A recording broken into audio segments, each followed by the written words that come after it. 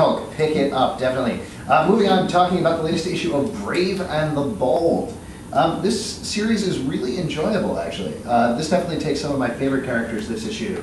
Uh, the Flash and the Doom Patrol. The Silver Age Doom Patrol. yes. Yeah. Uh, this was this was like my favorite DC book. Um, short of, uh, I really liked Gail Simone's first Wonder Woman, uh, but this was ooh really close. Um, a lot of times when I read Brave and the Bold with Waid and uh, Perez, it feels weird. It feels like two great tastes that aren't going great together. Mm-hmm. Yeah, that's what I thought about the first, the whole Green Lantern, Batman, and all that. The iterations of that. There was so much busy artwork. It was Yeah. like it was like eating really rich food, and you had to kind of stop every three pages and put it down. So much, there's so much going on, and the art was so rich. So it's kind of like you know you might really love lasagna and you might really love chocolate, but yeah, Yeah. But this this issue, Yeah, you could have like uh, a cookie layer and then a chocolate layer and then a nut layer and then another cookie layer. like an ice cream Comic books. Oh, we'll get there. We're very hungry. But this issue, everything clicked. Uh, it was so great to see Waid do the Silver Age Doom Patrol. I loved his take on Rita.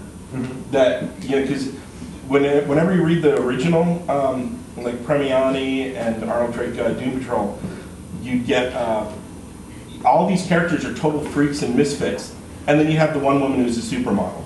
What's the deal with it? Is this Silver Age Doom Patrol just hanging out in the DC universe like regular? I have no idea how this works with continuity. I can't. I, I don't I think, understand. I think they, as far as I remember, uh, Byrne, after Byrne's run, they essentially just rebooted it. They were like, oh, that never happened, but never talked about it. I think it was one of Superboy's punches, was like, oh, we're back to normal. Yeah. Oh, that's- gosh. It's So a powerful just fist. that way now.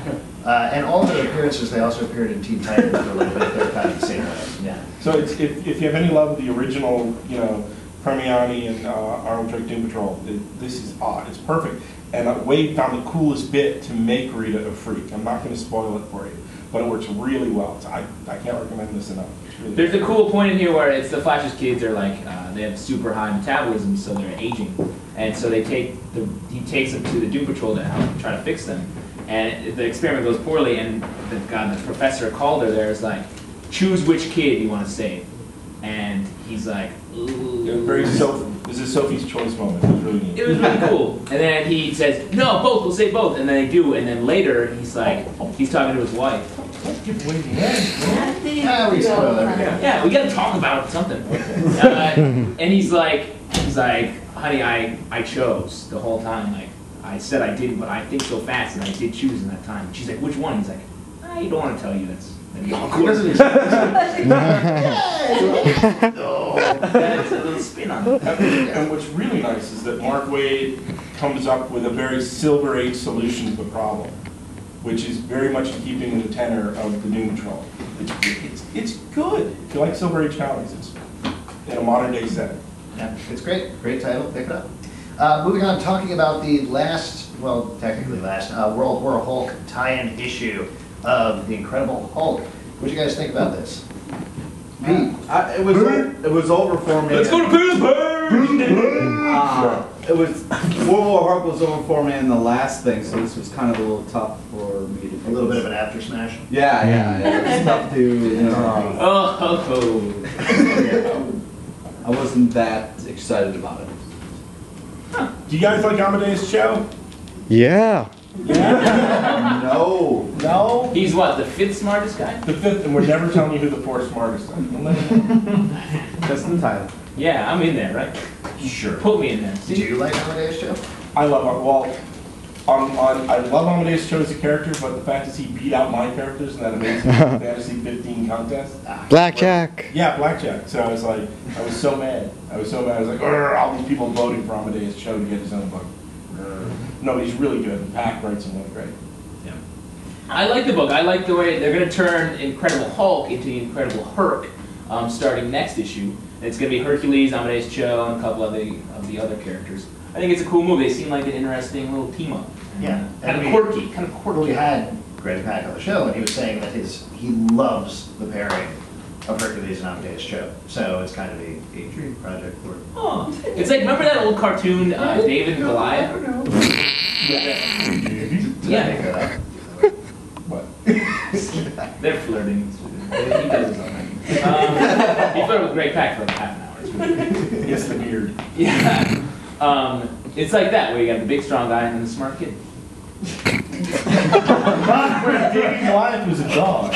Huh? What's one? the kid had a motorbike, he had like a scooter. No, you're thinking Samson Goliath? Samson, yeah, yeah, yeah. Was a lion. Ah, Cartoons at all. Hair Bear Bunch, that's what. Ah, there it is. Invincible motorcycle is Hercules. Oh. And You're, are, are you, are you I thinking no about idea what you're Hercules where he walked around with Pip, the, the Saturn?